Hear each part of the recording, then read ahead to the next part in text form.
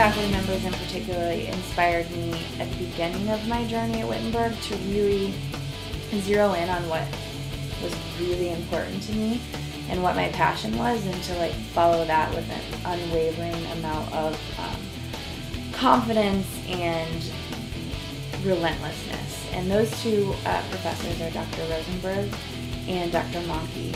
Uh, Dr. Rosenberg, I had the great pleasure of being in many of his classes. I became a history minor because of Dr. Rosenberg. And I also know the support that I have at Wittenberg if I need to call a professor, if I need to call anyone at Wittenberg and share our student's story with them, I know that there will be an outreach for us because there are professors there that started our passion for what we do, and therefore I know that reaching out to At Wittenberg, my smile as you asked me the question is because I, I don't have just one.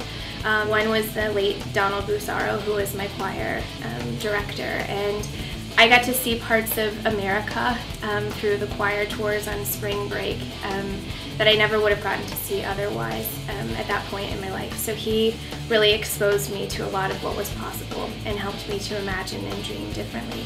The second person is Dr. Kathy Wagner in the communication department. Dr. Wagner served both as a personal and professional role model to me in multiple ways, and I just found her to be an incredible encourager.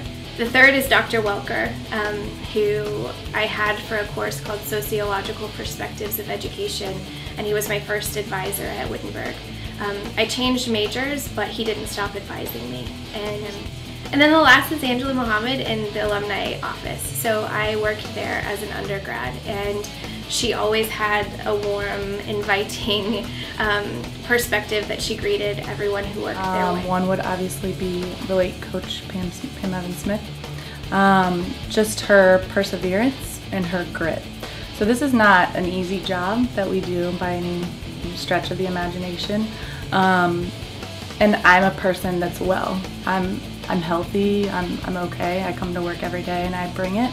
Um, and she did that, and she wasn't well. You know, like she she went to was at chemo from eight in the morning till four, and then would come and be at our practice until six thirty-seven every day, and never once ever ever ever complained about it. but I didn't know if I wanted to be a teacher. And actually, Dr. Welker sat down with me and he said, You have to do this. And I said, Why? And he said, Because you're a star at it. He said, I think sometimes you're almost too empathetic. Like when I've watched you, you give them so much of yourself that you're going to exhaust yourself. You need to, like, you need to find the happy medium. Um, but I just started like to hear from the perspective of people who had watched me with kids, and I started to hear like all this information about who I was as an educator. And when I stopped and thought about it, I thought, why not be a part of something where you're so needed?